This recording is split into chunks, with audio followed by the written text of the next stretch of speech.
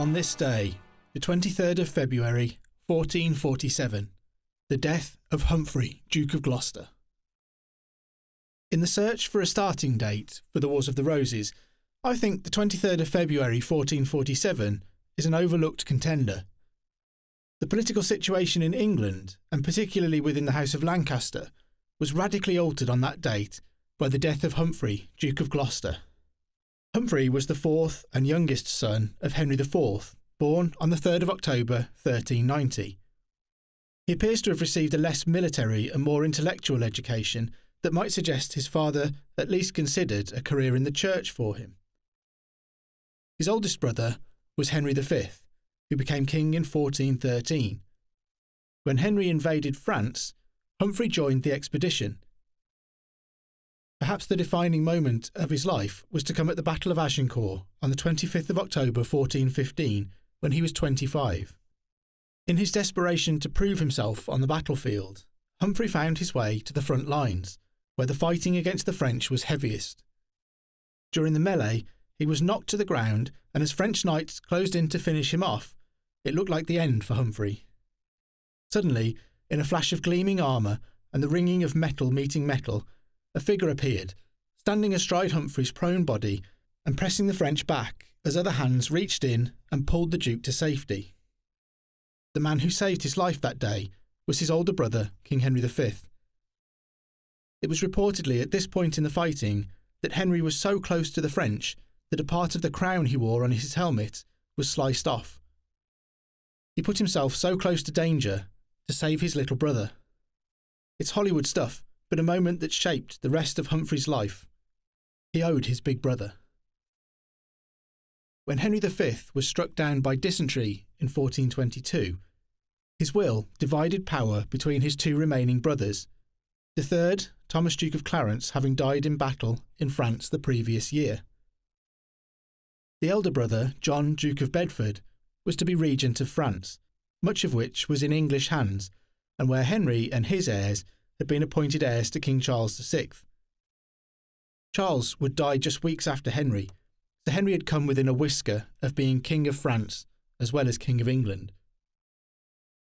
Back in England, Humphrey was to be regent there. A regency was required in both kingdoms because Henry's only child, a son named for him, was only nine months old when the king realised he was dying. A long minority lay ahead, and Henry wanted his brothers to keep what he had won for their nephew, Henry VI, until he was old enough to claim it for himself. The Royal Council had different ideas, though. They refused to accept Humphrey as regent in England. His reputation is as a rash, reckless troublemaker, and they claimed he couldn't be trusted to rule England. How right they were is hard to tell, but it's certain that what really bothered those men was the thought of their own exclusion from power. Such a long minority meant opportunities for personal enrichment, and the council wanted room to make the most of them. They set aside the king's will, in both senses of the word, and invented their own settlement. John was left as regent in France, but in England, power would be separated into three discrete sections. The council would do the day to day business of ruling the kingdom, so the vast majority of power and authority would be theirs. What was left, they split in two. The person of the new child king was made the responsibility of a handful of noblemen who were to oversee his education and ensure he was taken care of. As they looked Humphrey up and down, they knew they had to throw him a bone. The council devised a brand new title and office for the Duke, called Protector of the Realm. It gave Humphrey responsibility for the security of the kingdom.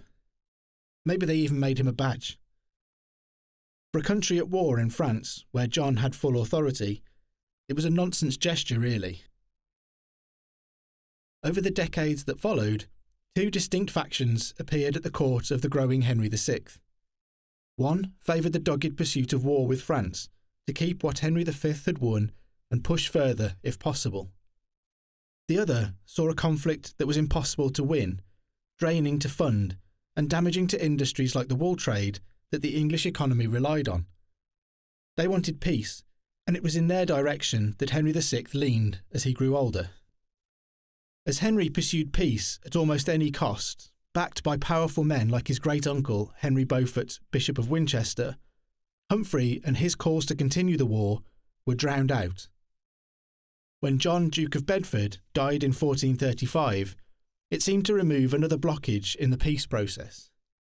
Humphrey shouted louder and louder, but was pushed further from the centre of power so that still no one heard him.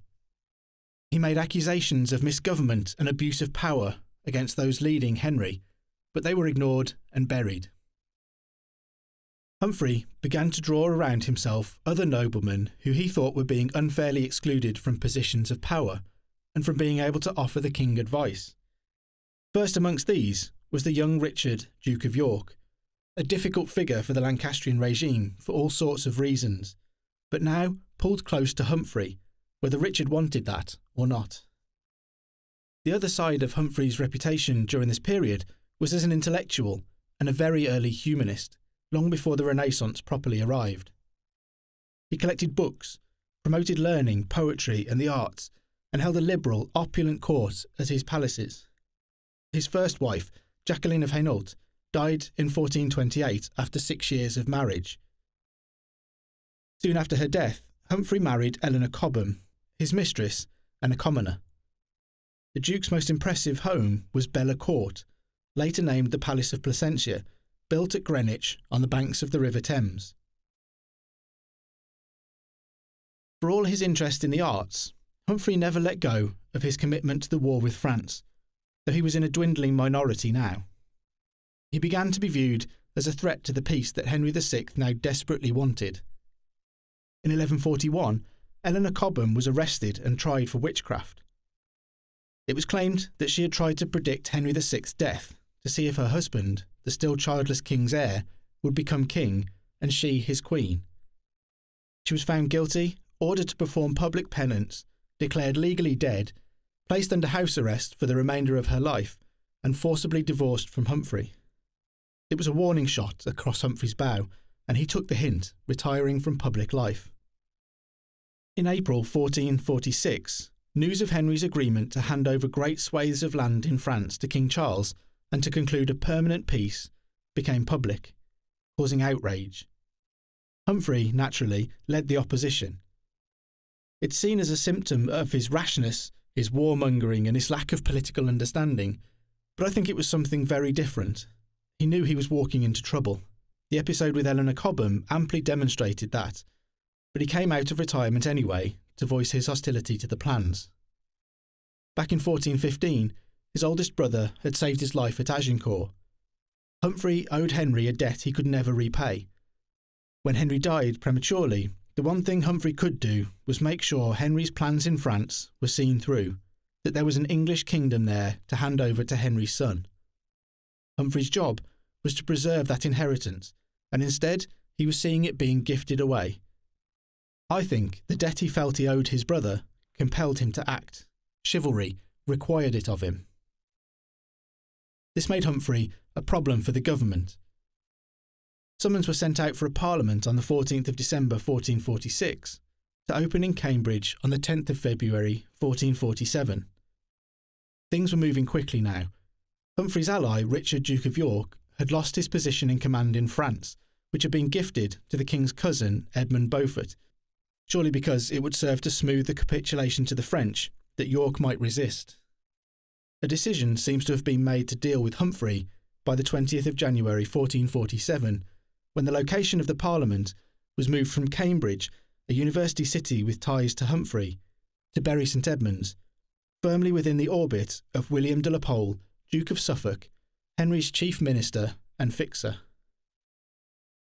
Humphrey duly arrived on the outskirts of Bury St Edmunds on the 18th of February, where some of the king's men met him and instructed him to move directly to his lodgings and advised him that he was barred from making any attempt to see the king. After two days of this unexplained house arrest, several lords and their armed retainers arrived to tell Humphrey that he and his men were under arrest for treason. Henry VI had become convinced that his 56 year old childless uncle meant to murder him and seize the throne, with some sources adding a slightly chivalrous edge to it, with a desire to rescue Eleanor Cobham from her perpetual prison.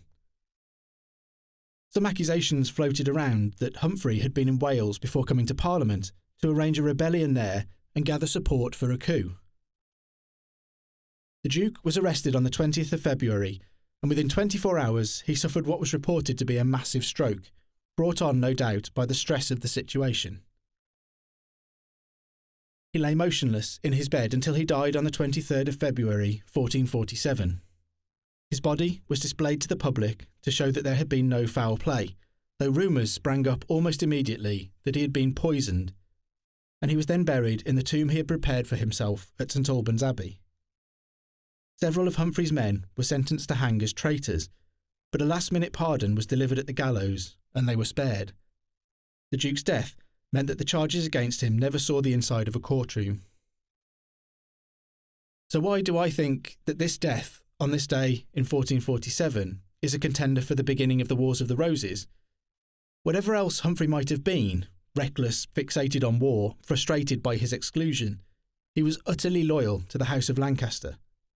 He did what he did to honour his brother's memory, and I don't think for one moment he had any intention of murdering and deposing his nephew, the son of the man who had saved his life.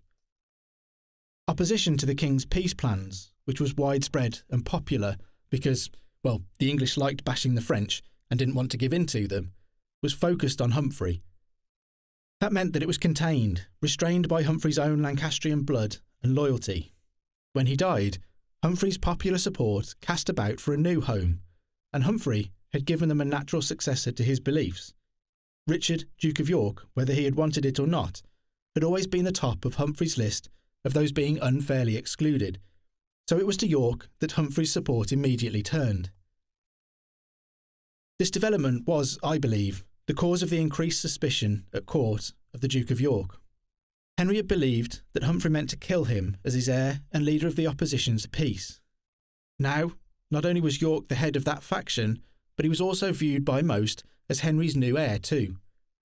Suddenly, opposition to the House of Lancaster had a focus outside the House of Lancaster.